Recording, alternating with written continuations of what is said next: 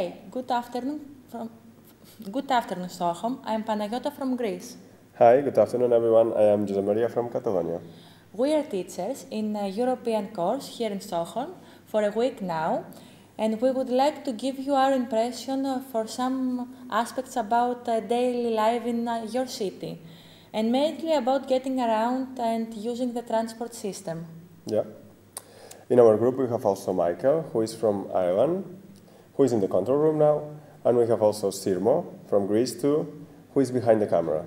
Well, Josep, did you enjoy your week here in Stockholm with us? Yes, really. It's my first time here in Sweden, and Stockholm has been a wonderful city to discover, and also the country. It's a very nice and big country, isn't it? Yes, yes.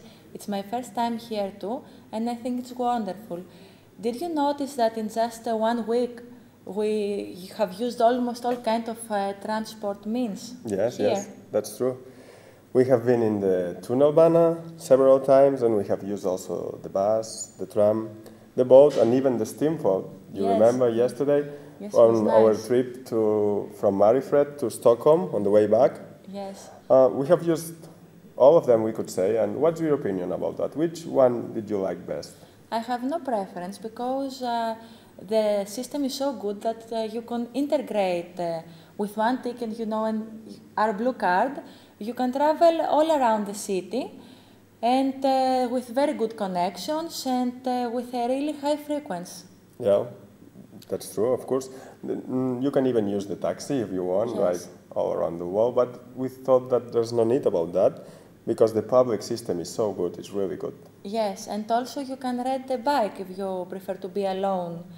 Uh, there are bicycles lines all over around in the town. Do you have that in Spain? Yes, we have it too. Not where I live because I live in the countryside, so we don't. We everyone has a bike, but we don't have this kind of public system about renting bikes. But in Barcelona, there's a very very similar system. It's called Bicing. So you go there and you rent a bike, the same as you do here in Stockholm. But I think that they don't have as many lines, bicycle lines, as they have here in the city. Yes. What about Greece? Sorry. We don't uh, either have uh, that in Greece. And I love cycling, but I can't because there are no lines and I have to share the road uh, with the cars, which is not uh, very easy for me. Yeah. Okay. Finally, uh, do you think that they could do something here in Sweden? We know that the public system, the public transport system is very, very good. But do you think that, that they could do something to improve it? Uh, yes, I think that they should put English signs uh, in their transport system to improve it for tourists because there is a lot of uh, them and it's difficult for them to in uh, to understand uh, the, the next stop and uh, where to go. So English signs uh, must be put it Yeah, it, it has been difficult for us sometimes to, yes to understand, to orientate in to the understand place. the Yes. Swedish language. What And- else do you think uh, could be done?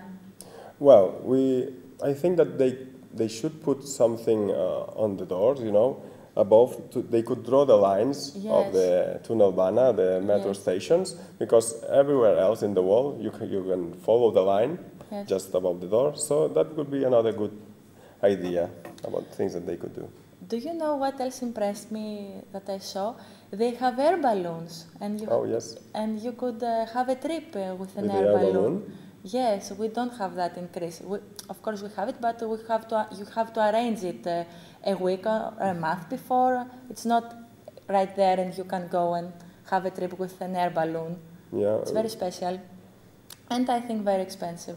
Yeah, it Oh. must be very expensive. We can Yes. ask if you Yes, yes, we have uh, half a day to have a day spend. to spend here in Stockholm, and we can have a very nice trip on, an air, on the air balloon and Yes. have some sightseeing maybe. Yes, and also, do, in which uh, which uh, which transport mean are you going to use to go to the airport?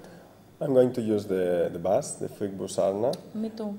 But did Did- you notice that we saw three green circles in Arlanda station? Yes, for the train to share the tickets with a stranger, which is uh, cheaper. That's a very clever thing to do. Yes, yes, We don't have, uh, We don't Either have it in Greece or in Yes. Spain, in Catalonia, we don't have it.